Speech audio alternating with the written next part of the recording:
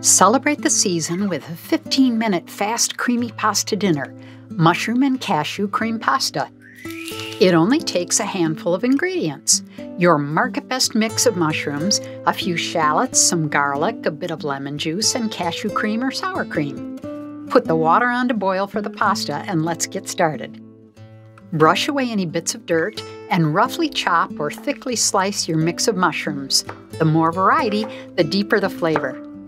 Mushrooms are a rich, low calorie treat full of fiber, protein, and antioxidants, and they taste so meaty, I never miss out on that umami flavor I sometimes crave. I like to save the tougher stems to freeze and add to sauces another day.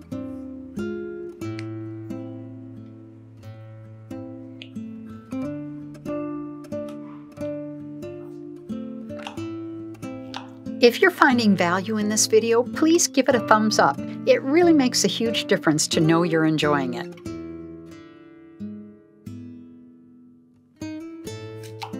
Mince two to three shallots, and if you don't have them, onions make a fine substitute.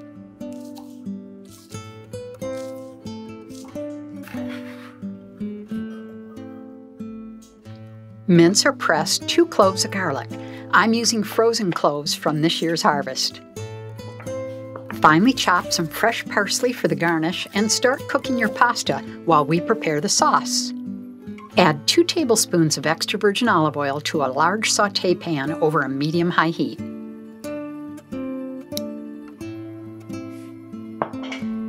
Now start with the more delicate mushrooms first, tossing and stirring until they develop a nice brown color, and then remove them to the side.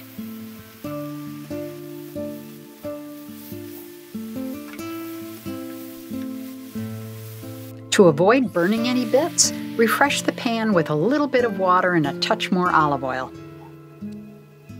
Now add the firmer mushrooms and a pinch of salt.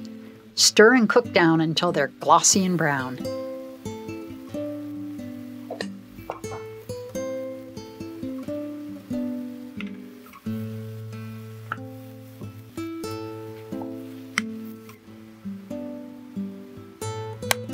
Make a little space in the middle and add the garlic and shallots.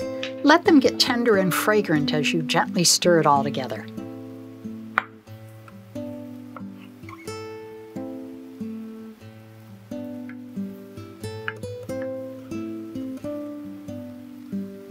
The fresh acidic flavor of one tablespoon of lemon juice really brings things into balance. Now return the delicate mushrooms to the pan and remove it from the heat. Add 1 quarter cup of cashew cream or sour cream and enough pasta water to thin the sauce to your favorite consistency. I'm a new fan of cashew cream, so I just can't get enough of it. If you want to make it too, I have a short video that I'll link in the description below.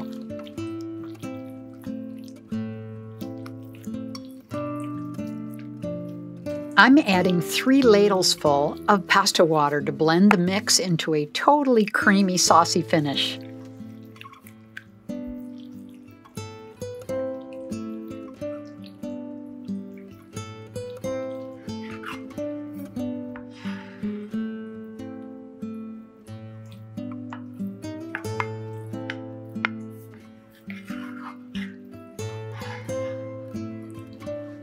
It's ready to serve with hot pasta and a sprinkle of parsley and a smattering of freshly ground pepper. And for more healthy recipes that help you learn to eat the Mediterranean way every day, please click here, and thanks for watching.